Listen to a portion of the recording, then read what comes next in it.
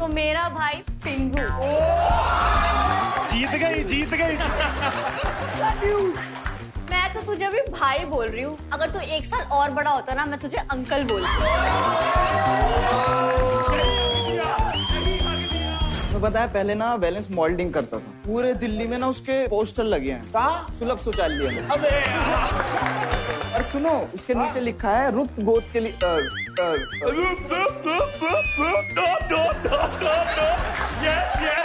यही हक दिया।